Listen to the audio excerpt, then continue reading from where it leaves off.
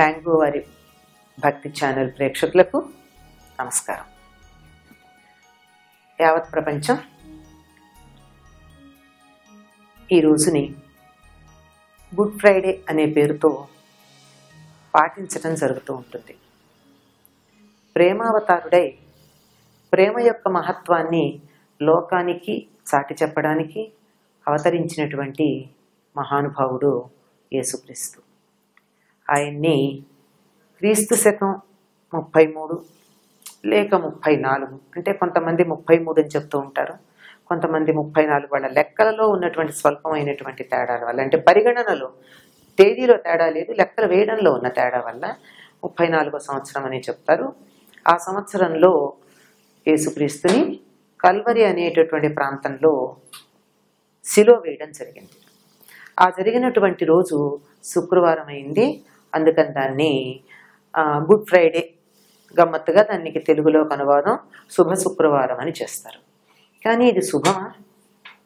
ఒక మహానుభావుణ్ణి దేవుని బిడ్డని అని చెప్పుకున్నటువంటి వానిని శిలో వేసినటువంటి రోజుని శుభ శుక్రవారం అని ఎందుకంటున్నాం?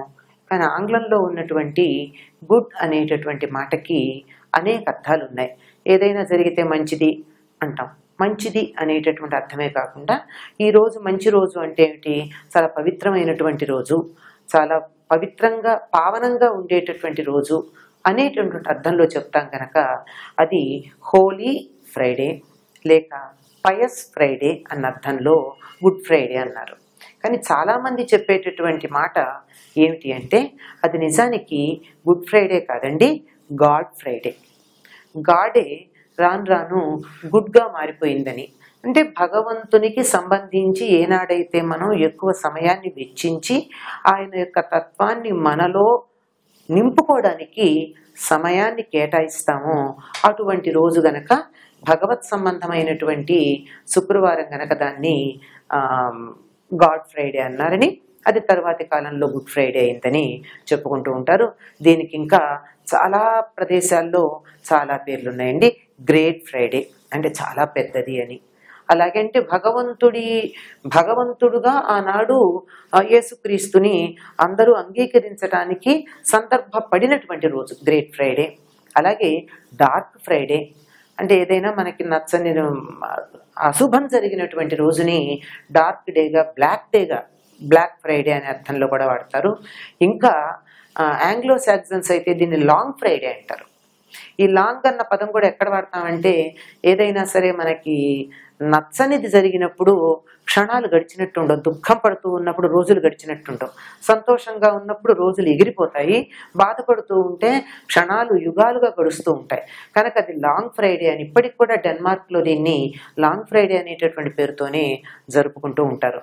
మరి ఈనాడు ఏం చేస్తారండి? ఎందుకు వాళ్ళ ఏదో గుడ్ ఫ్రైడే అవనండి డార్క్ ఫ్రైడే అవనండి ఏం చేస్తారంటే రాత్రిపూట అంటే సూర్యాస్తమయం అయిన తర్వాత జరిగింది ఈ సిలువ వేయడం అనేటటువంటి చెప్పుకుంటారు కనుక ఆ తరువాత బాగా ప్రార్థనలు చేస్తారు. ప్రార్థనా సమావేశాలు మాసు లేక సెర్మన్సు ఇవి చేయడం ప్రార్థనా సమావేశాలు చేయడం. చర్చిలో ఉండేటటువంటి పాలనాధికారి లేక ప్రీస్ట్ ఎవరైతే ఉంటారో వారు కొన్ని రకాలైనటువంటి ఆదేశాలు ఇస్తారు. మీరందరూ ఈ రకంగా నిలబడండి ఇలా ఉండండి ఇలా చేయండి అని చెప్పి కొన్ని ఆదేశాలు ఇస్తారు.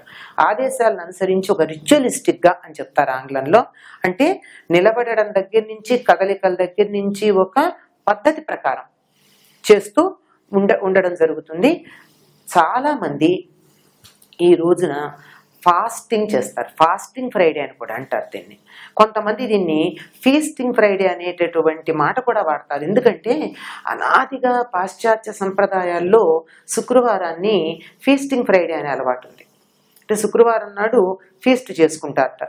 మరి ఎందుకో దానికి ఒక పద్ధతులు ఉన్నాయి కొన్ని. పైగా ఇంకొక విశేషం ఏమిటంటే పాశ్చాత్య సంస్కృతిలో వారి యొక్క తాత్విక నేపథ్యాన్ని కనుక గమనించినట్టయితే ఎన్నో అశుభ సంఘటనలు జరిగింది శుక్రవారం నాడే. చాలా అశుభ సంఘటనలు జరిగాయి. అందుకని శుక్రవారం అశుభం జరిగేటటువంటి రోజు కనుక పోనీ దాన్ని శుభం అంటే ఏమన్నా మంచి జరుగుతుందేమో అశుభాలు జరగకుండా ఉంటాయేమో అనేటటువంటి ఆశావాద దృష్టితో కూడా దీన్ని గుడ్ ఫ్రైడే అనడం జరిగిందిట.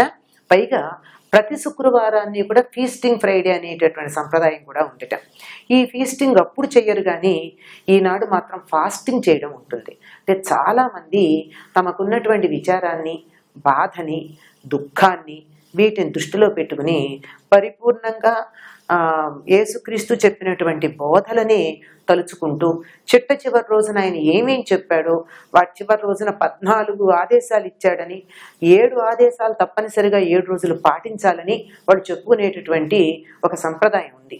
కనుక ఇలా జరుగుతూ ఆ ఫాస్టింగ్ చేసేటటువంటి పద్ధతి ఉంది. ఈ ఫాస్టింగ్ కూడా ఎప్పుడు పూర్తవుతుంది అంటే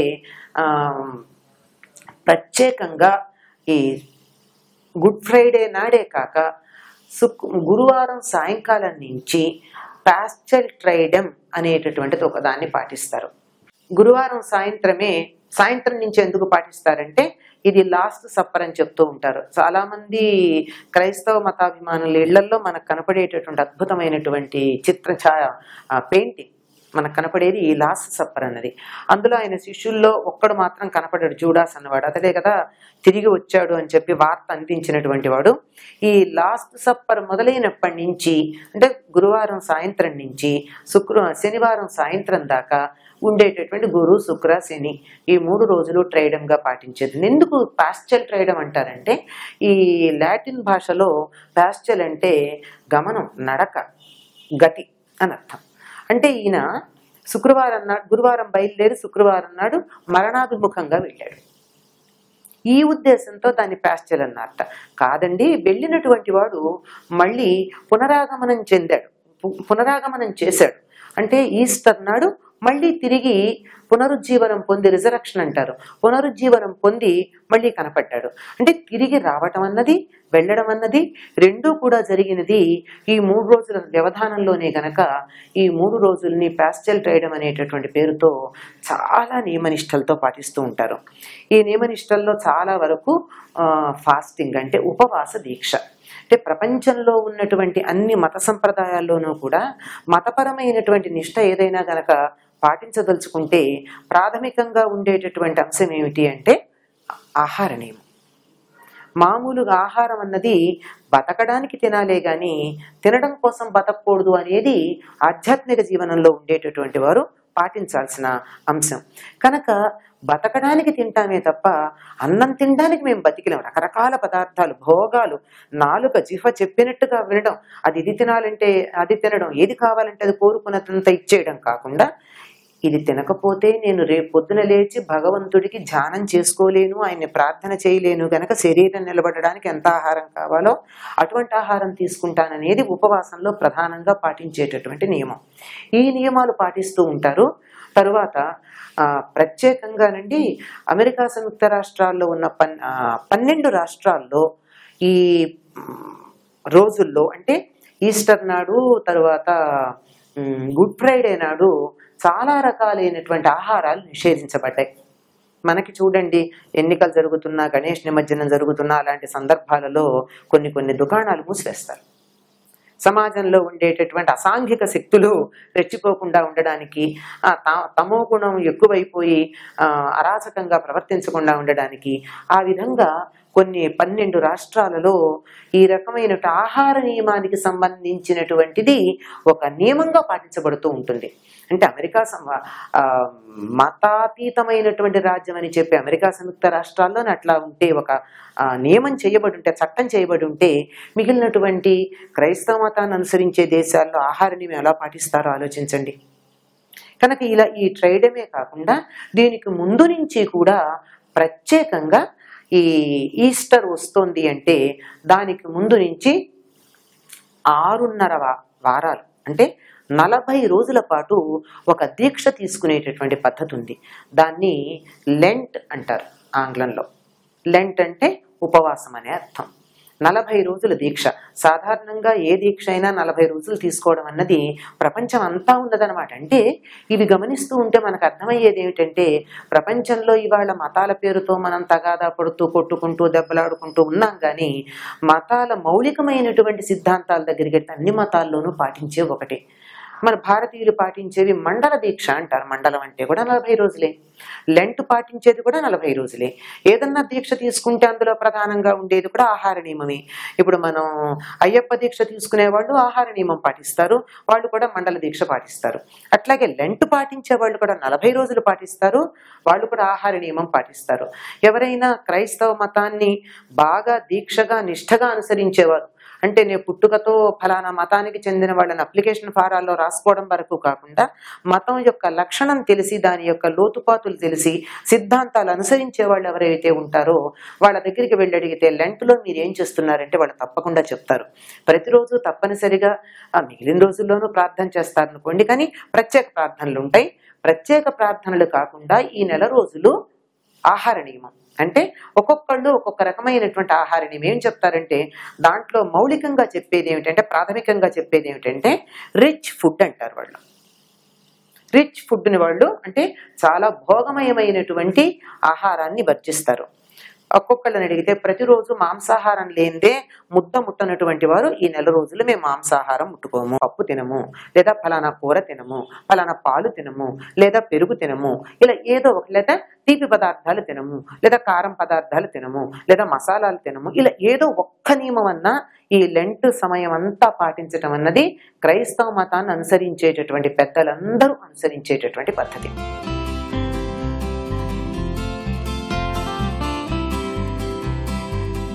ఇది ఎప్పుడు ప్రారంభమవుతుంది? ఈ లెంట్ అంటే ఇది నెలల ప్రకారం వారానికి ప్రాధాన్యం ఉంది గనక వార ప్రాధాన్యంతో పాటు దీన్ని ఎక్కడంటే ఈ దీంతో కూడా కలుపుతారు. చాంద్రమానంతో కూడా అనుసంధానం చేసుకుంటారు. చాంద్రమానంతో అనుసంధానం చేసుకుని వారంతో కలుపుకోవడం వల్ల ప్రతి సంవత్సరం ఒకే తేదీన రాదు. ఇది ఈక్వినాక్స్ అయిన తర్వాత మొదలవుతూ ఉంటుంది. అంటే మార్చిలో వచ్చేటటువంటి ఈక్వినాక్స్ దాని తర్వాత వచ్చేటటువంటి ఆ, అమావాస్య వెళ్ళినటువంటి చంద్రుడు ఉండేటటువంటి రోజు వీటికి వీటితో ఒక రకమైనటువంటి అనుసంధానం చేసి తేదీలు నిర్ణయించడం జరుగుతుంది. సాధారణంగా ఫిబ్రవరి నాలుగుకి ముందు మొదలవుదు లెంటు అలాగే ఏప్రిల్ చివరి తర్వాత దాటదు. ఎప్పుడో కొన్ని సందర్భాల్లో మాత్రమే మొద మే మొదటి వారంలో ఈస్టర్ రావడం అన్నది అతి తక్కువ సందర్భాల్లో జరిగింది. ఇలా అయినటువంటిది ఈ సంవత్సరం మనకి మార్చి ఐదున లెంట్ ప్రారంభమైంది. ఏప్రిల్ పద్దెనిమిదిన ఈస్టర్ మొదలైంది. అంటే ఈస్టర్ వస్తోంది అంటే నలభై రోజులు. ఎప్పుడు లెంట్ ప్రారంభిస్తారు అంటే దాన్ని యాష్ వెన్స్డే అంటారు. యాష్ వెన్స్డే అంటే యాష్ అనేటటువంటి పదానికి భస్మం అని మనం తెలుగులో చెప్తాం. మామూలు మాటలో చెప్పాలంటే బూడిద. యాషెస్ అంటే బూడిద. బూడిద అన్న పదం కొంచెం మొరటుగా ఉంటుంది కనుక భారతీయులు వాడేటటువంటి పదం ఏదైతుందో పవిత్రమైనటువంటి బూడిదని ఏమంటారు? భస్మం అంటారు. ఈ భస్మంతో మొదలయ్యేటటువంటి రోజు కనుక దీనికి యాష్ వెన్స్డే అని పేరు. ఈ భస్మం ఎలా తయారు చేస్తారు అంటే ఈ సిలువ వేయడానికి ముందు ఆదివారం నాడు ఏసుక్రీస్తు యేసుక్రీస్తు జెరూసలంకి తిరిగి వస్తారు. చాలా విజయవంతంగా అనేక రకాలైన ఇబ్బందులు ఎదుర్కొని తప్పించుకుని విజయవంతంగా తిరిగి వస్తాడు. తిరిగి వచ్చినందుకు ఆయనకి ఈ పామ్ లీవ్స్ అన్ని బహుమానంగా ఇస్తారు. ఈ ఇచ్చినటువంటి వాటి అందుకే దాన్ని పామ్ సండే అంటారు. ఆదివారం పామ్ అంటే అంటే తాటాకులు మొదలైనటువంటివి ఇచ్చినటువంటి పామ్ అంటే తాటే కాదండి అరటి కూడా కావచ్చు. ఇలాంటి వాటిల్లో ఆకులు ఇచ్చారు. వీటన్నింటినీ అట్టే పెట్టి ఈ సంవత్సరం జరిగినటువంటి పామ్ సండే నాడు వచ్చినటువంటి ఆకు ఆ పామ్ అట్టే పెట్టి వాటిని వచ్చే సంవత్సరం యాష్ వెన్స్డే అని చెప్తారే ఆ బుధవారం నాటికి ముందు ఆ చర్చికి అధిపతి అయినటువంటి ఆయన వాటన్నిటిని కూడా భస్మం చేస్తాడు. ఆ భస్మం చేసి బుధవారం నాడు పవిత్ర తీర్థం. చర్చిల్లో తీర్థం ఇస్తారండి. హోలీ వాటర్ అని చెప్పి. ఈ హోలీ వాటర్ ఇవ్వడం ఏమిటి? భస్మం ఏమిటి? ఇవన్నీ ప్రపంచంలో ఉండే అన్ని మతాల్లోనూ మౌలికంగా పాటించేటటువంటి సిద్ధాంతాలుగా మనకు కనపడుతూ ఉంటాయి. అంటే నీటిని తీసుకుని దాన్ని ఎనర్జైజ్ చేసి మంత్రపూతంగా చేసినటువంటిది తీర్థం. ఈ తీర్థంతో ఈ భస్మాన్ని రంగరించి యాష్ డే నాడు ఎవరైతే చర్చికి వస్తారో వచ్చినటువంటి వారందరి చేత అంటే ఎవరెవరైతే నేను లెంట్ దీక్ష తీసుకుంటున్నాను ఉపవాస దీక్ష తీసుకుంటున్నాను అంటారో వారందరికీ కూడా ముఖాన ఈ భస్మాన్ని క్రాస్ రూపంలో పెడతారు. అంటే క్రాస్ రూపంలో ఆ చర్చిలో ఉన్న ప్రీస్ట్ ఫాదర్ అవ్వచ్చు బ్రదర్ అవ్వచ్చు వారికి ఉన్నటువంటి పదవుల్ని బట్టి వారు ఆ- చర్చికి ఉండేటటువంటి అధిపతి. ఆయన వారి ముఖాన ఇలా క్రాస్ రూపంలో శిలువ ఆకారంలో ఈ భస్మాన్ని పెట్టినట్టయితే అప్పటి నుంచి వాళ్ళు వ్యక్తిగతమైనటువంటి ఉపవాస దీక్ష తీసుకున్నట్టు. ఈ లెంట్. ఈ తీసుకున్న తరువాత ఏమిటి అంటే ఈ నియమాలు పాటిస్తారు. ఎందుకు ఉపవాస దీక్ష తీసుకోవాలి? తీసుకోకపోతే ఏమైంది? ఏదో మనం అనుకుంటూ ఉంటామే మనకి ఇష్టమైనటువంటి వాళ్ళు లేదా దేశ నాయకులు మా మరొకళ్ళు వారి శరీరం వదిలినటువంటి రోజును వర్ధంతిగా చేసుకుని మనం కమమరేట్ చేసుకున్నాం గుర్తు చేసుకుంటున్నాం వాళ్ళని స్మరించుకుంటున్నాం. అట్లా చేసుకుంటే సరిపోయేదానికి ప్రత్యేకంగా దీక్ష తీసుకోవడం దేనికి అంటే మానవ జాతి మొత్తం కోసం వారిని ఉద్ధరించటం కోసం ప్రేమ కరుణ శాంతి మొదలైనటువంటి సందేశాలు ప్రపంచానికి ఇవ్వటం కోసం తనని తాను నిజాయితీగా పట్టుబడి తప్పించుకుని పారిపోయే ప్రయత్నం చెయ్యకుండా నేను మీ అందరి కోసం రక్తాన్ని ఓడ్చుతున్నాను. ప్రపంచంలో శాంతి స్థాపన కోసం నన్ను నేను త్యాగం చేసుకుంటున్నాను. ఇదే యజ్ఞం అంటే మరొకటి ఏమీ కాదండి. ఆంగ్లంలో యజ్ఞాన్ని సాక్రిఫైస్ అంటారు. తనని తాను సాక్రిఫైస్ చేసుకున్నాడు. యజ్ఞంలో సమిధగా తనని తాను సమర్పించుకున్నటువంటి రోజు గనక దాన్ని గుర్తు చేసుకోవడానికి ముందు నలభై రోజులు ఆయన చెప్పినటువంటి సిద్ధాంతాలని పాటిస్తూ నువ్వు మా కోసం ఇంత చేసినప్పుడు నీ కోసం మేము ఈ మాత్రం నియమం పాటించలేమా? నువ్వు చెప్పినటువంటి సిద్ధాంతాలను మేము ఈ మాత్రం అనుసరించలేమా? అనుసరించి నీకు మేము అనుచరులంగా ఉంటాము అని చెప్పి తమని తాము తమ మత ప్రవక్త పట్ల తమకున్న శ్రద్ధని ప్రకటించుకుంటూ పునరంకితం చేసుకోవడం కోసం నియమపాలన కోసమని ఈ లెంట్ పీరియడ్ని పాటిస్తూ ఉంటారు. ఈ లెంట్ పూర్త ఎప్పుడు పూర్తవుతుందంటే ఆ సబత్ అంటారంటే ఆ శనివారం సాయంత్రం. ఏ రోజైతే ఈస్టర్ వస్తుందో దానికి ముందు రోజు సాయంకాలం ఈ సబత్ వస్తుంది. వచ్చే ఆ రోజు ఆ రోజు సాయంకాలంతో లెంట్ పూర్తవుతుంది. అయితే దీని గురించి మనం గమనించి చూసినట్టయితే క్రీస్తు శకం నాలుగో శతాబ్దం నుంచి మాత్రమే లెంట్ పాటిస్తున్నట్టుగా మనకు కనపడుతోంది. అంతకుముందు మూడు వందల సంవత్సరాల పాటు ఏసుక్రీస్తు యేసుక్రీస్తు శరీరం వదిలిన తర్వాత మూడు వందల సంవత్సరాల పాటు ఈ ఉపవాస దీక్ష ఎవరు పాటించినట్టుగా మనకు అంతగా కనపడదు. అంటే పాటించారేమో తెలియదు కానీ ఆధారాలు లేవు. నాలుగో శతాబ్దం నుంచి కనపడుతూ ఉంది. అయితే మత విశ్వాసాల్లో ఎక్కడా ఉపవాసం చెయ్యమని లేదట. అయితే తమకున్నటువంటి భక్తి శ్రద్ధలని ప్రకటించుకోవటం కోసం ఇతర సంప్రదాయాల యొక్క ప్రభావం వల్ల దీన్ని ఇంత చక్కగా పాటిస్తూ ఉండడం అన్నది మనకి కనపడుతూ ఉంది. ఈస్టరు యేసుక్రీస్తు పునరుజ్జీవితుడై నేను తిరిగి వచ్చాను అని లోకానికి ప్రకటించుకున్నటువంటి రోజు. అందువల్ల దాన్ని ఆనందోత్సాహాలతో జరుపుకుంటారు. అంటే ఆ తర్వాత ప్రకటించుకున్న తర్వాత ఎక్కువ కాలం ఉన్నాడా? ఉన్నాడా లేదా అని కాదు. ఏసుక్రీస్తు అనబడేటటువంటి ప్రజ్ఞ ఏదైతే ఉందో ఆయనకి పెట్టినటువంటి పేరు ఒకటైతే భగవత్ ప్రజ్ఞ ఆయనలో చేరింది ఒకటైతే రెండు కలిపితేనే ఏసుక్రీస్తు అన్నవి రెండు మనకు వచ్చినటువంటివి.